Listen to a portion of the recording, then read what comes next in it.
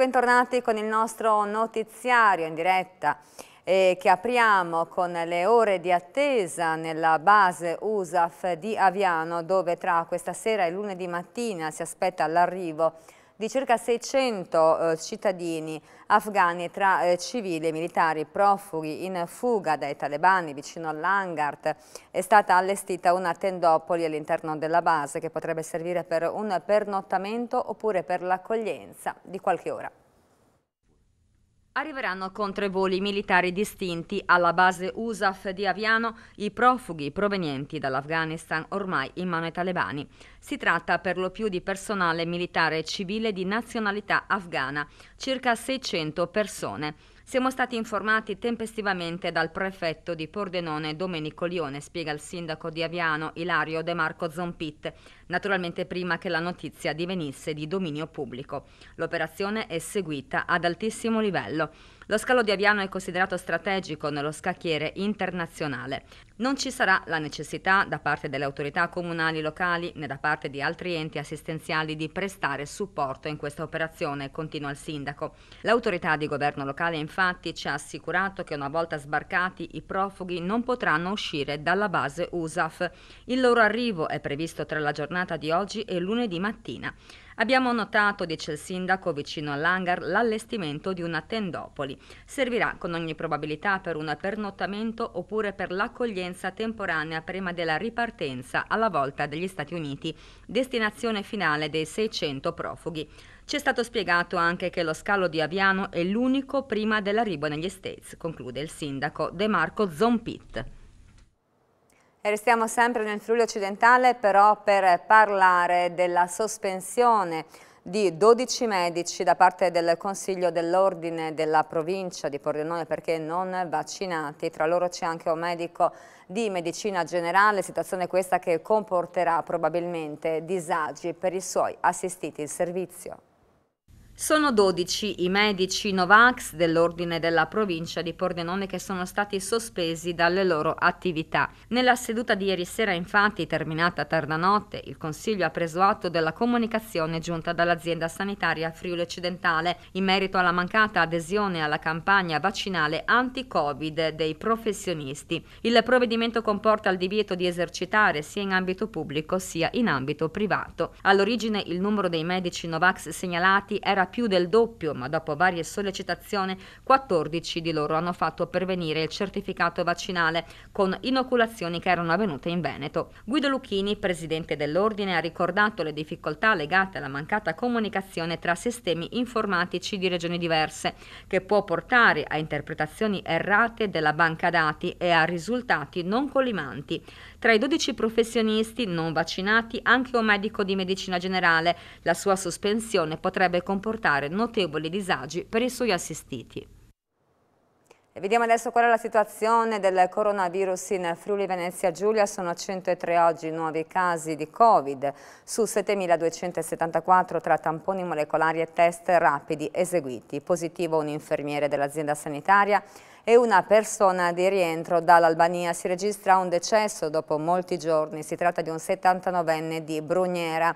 9 stabili come ieri pazienti in terapia intensiva, 30 invece quelli ricoverati in altri reparti. Le persone in isolamento crescono e sono 899.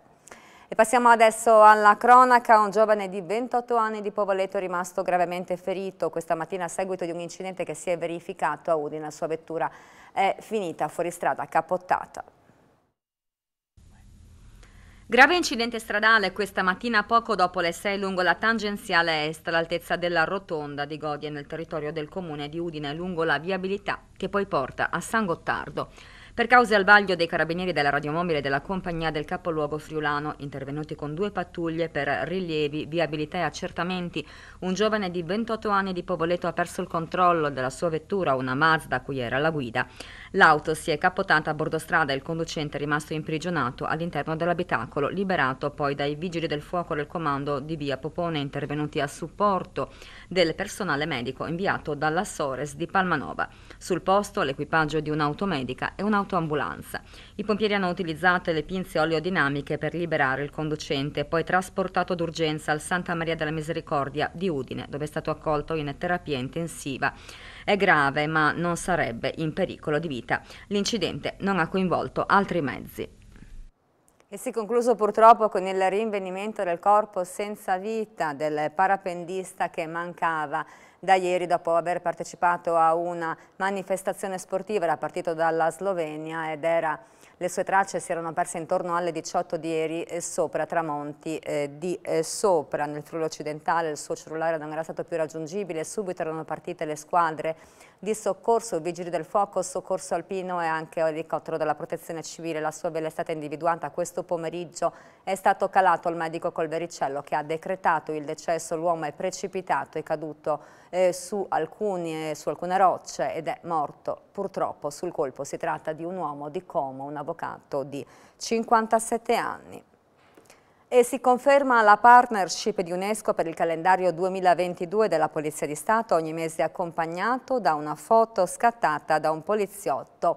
Il ricavato sarà eh, devoluto a sostegno del progetto COVAX per l'accesso equo e globale ai vaccini anche per i bambini dei paesi più poveri racconterà l'attività operativa delle donne e degli uomini della Polizia di Stato al servizio della comunità in modo diverso, il calendario della Polizia di Stato 2022. Le fotografie che accompagneranno i mesi infatti sono state scattate da 12 poliziotti che così hanno coniugato passione professionale e sensibilità estetica si conferma la partnership di Unicef. La vendita dell'ultimo calendario ha permesso di devolvere quasi 200.000 euro a favore di un progetto per fronteggiare le situazioni di disagio minorile conseguenti all'emergenza da Covid-19. Per il 2022 il ricavato sosterrà il progetto COVAX per un accesso equo e globale ai vaccini che consentirà di estendere la campagna vaccinale ai bambini dei paesi più poveri. Una quota, come di consueto, sarà devoluta al piano di assistenza Marco Valerio, riservato ai figli dei dipendenti della Polizia di Stato affetti da patologie croniche. E torniamo alla cronaca, un centauro di 70 anni è rimasto gravemente ferito questa mattina a seguito di un incidente stradale accaduto a Zellina di San Giorgio di Nogaro. È andato a impattare contro una vettura, è stato elitrasportato all'ospedale di Udine ai rilievi della polizia locale. E sempre a San Giorgio di Nogaro paura questo pomeriggio invece per la caduta di un balcone da una terrazza, in realtà di un bambino di soli 5 anni, da un'altezza di circa 4-5 metri. Anche questo eh, bimbo è stato trasportato al Santa Maria della Misericordia di Udine in volo, ma precauzionalmente le sue condizioni non sarebbero gravi. E poi si è avvicinata a un pensionato di 86 anni, una donna questa mattina a Sacile, è riuscita a sfilargli il Rolex che aveva al polso e anche la fede nunziale L'uomo, un pensionato del posto, si è subito rivolto ai carabinieri della locale stazione per denunciare l'accaduto e poi un cittadino romeno di 31 anni è stato arrestato questa eh, notte per un'aggressione alla ex compagna. Si tratta di un cittadino romeno di 31 anni arrestato per maltrattamenti in famiglia, violenza privata, lesioni personali. La notte scorsa, come dicevo appunto in piazza a Fiume Veneto, ha inseguito e picchiato la convivente, una connazionale di 34 anni, la donna si era rifugiata in un bar, è stata portata in ospedale per un trauma facciale, le sue condizioni non sono gravi, hanno rischiato anche di essere picchiati alcuni, eh, alcuni passanti che volevano aiutarle, che sono stati minacciati con una mazza da baseball, l'uomo è stato rinchiuso nel carcere di Udine. E la Regione ha decretato la proroga per Sapremo, un progetto che promuove eh, tra i giovani nelle scuole legalità e stili di vita sani. Di nuovo insieme quindi Questura di Udine Dipartimento eh, delle, mh, pre, delle, dipendenze dell'azienda sanitaria univers universitaria Friuli Centrale, Comune di Udine, Danieli e Confindustria. Udine, sentiamo. Nei giorni scorsi la Regione ha decretato la proroga di Sapremo, progetto pensato per promuovere tra i giovani nelle scuole la legalità insieme a stili di vita sani. Presidente Maresche Danieli, quanto è importante questo patto tra mondo della scuola, operatori della salute, forze dell'ordine e imprenditori a sostegno delle nuove generazioni? È assolutamente importantissimo perché solo mettendoci insieme e solo considerando il problema eh, del fatto che un giovane su tre si perde eh, in alcol e droghe come un problema comune, anche se non tocca a tutti noi da vicino, riusciremo a risolverlo. Questo è un progetto che è nato in sordina per una necessità e dopodiché ha, avuto un successo sempre maggiore perché è stato considerato valido.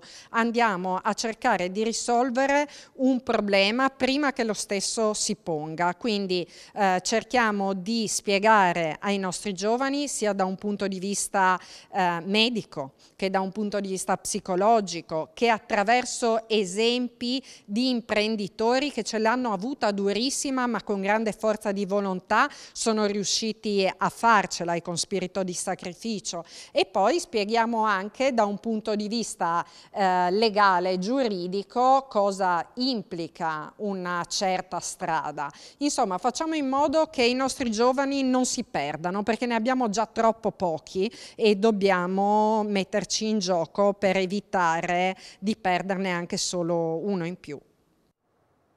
E Angela Drinovez di Butrio è Miss Sorriso Friuli Venezia Giulia 2021 eletta in diretta su Telefriuli ieri sera. È intervenuta alla trasmissione anche la patrona di Miss Italia Patrizia Mirigliani. Vediamo.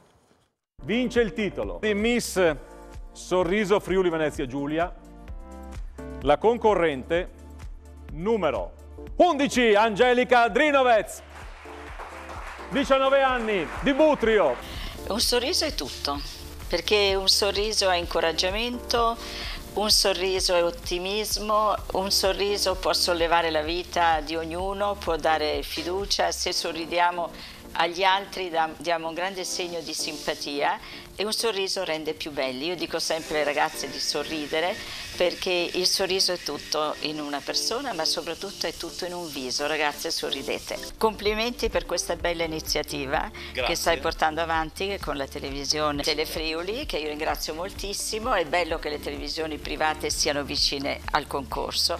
Grazie di cuore a tutti. Ed è stata presentata la terza edizione Se io fossi Caino, rassegna di arte e teatro in programma Gorizia del 25 agosto. Tre serate dedicate alla vita in carcere con ospite l'attore Cesare Striano del cast dei pluripremiati film Gomorra e Cesare deve morire. Mm, tra ottobre e novembre spazio anche agli spettacoli degli stessi detenuti nella struttura di via Barzellini. Carcere e Gorizia tornano in contatto nella terza edizione di Se io fossi Caino, rassegna organizzata da Fiera in Scena insieme alla Caritas e col contributo del comune di Gorizia, in programma dal 25 al 27 agosto, con un appendice tra ottobre e novembre. L'obiettivo è creare un ponte tra chi vive all'interno e l'esterno del carcere, coinvolgendo gli stessi detenuti attraverso il teatro. Questa prima fase prevede due spettacoli messi in scena mercoledì e giovedì, rispettivamente, da Salvatore Striano ed Elisa Menon. Il primo, atteso a Palazzo di Grazia, si è innamorato della recitazione durante la sua permanenza a Re Bibbia. Dopo l'esordio al cinema con Gomorra, ha vinto l'Orso d'Oro a Berlino con la pellicola Cesare deve morire dei fratelli italiani.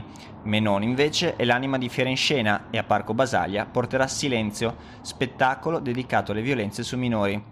L'ultimo giorno sarà dedicato a una conferenza sull'evoluzione della pena. Gli appuntamenti torneranno tra ottobre e novembre con la messa in scena delle APS allestite dagli stessi detenuti goriziani all'interno della struttura di via Barzellini. Analoga iniziativa sarà proposta a Trieste col supporto del Politeama Rossetti. Il sistema carcerario del nostro paese non funziona. Noi abbiamo una reiterazione che supera il 60%.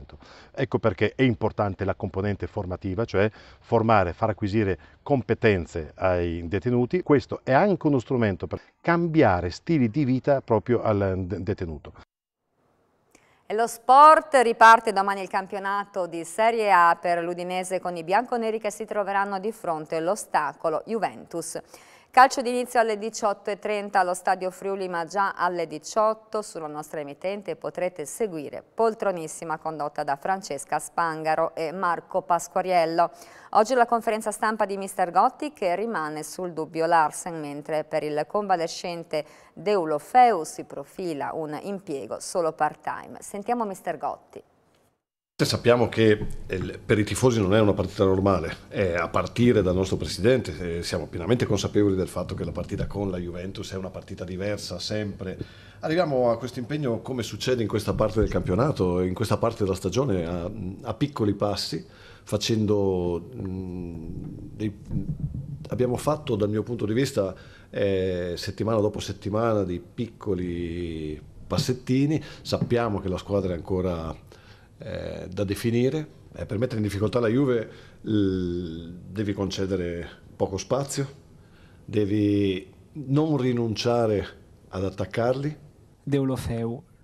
È di sicuro in crescita, mi sembra che stia bene, è di sicuro lontano dal suo potenziale, ha pochissimi minuti nelle gambe, per il suo percorso di, di recupero fisico ha, ha, fatto pochissimi minuti, bisognerà avere un, un altro po' di pazienza. E si è conclusa la prima giornata del rally delle Alpi orientali a Cividaro del Friuli 55, gli equipaggi con auto storiche 150, quelli con mezzi recenti. Alle 21 lo speciale su Telefriuli curato da Daniele Paroni e Simone Caramaschi. La competizione è stata vinta dall'equipaggio Crugnola Zan. Ed era l'ultima notizia per il nostro TG, vi ringrazio per l'ascolto, vi auguro una buona serata.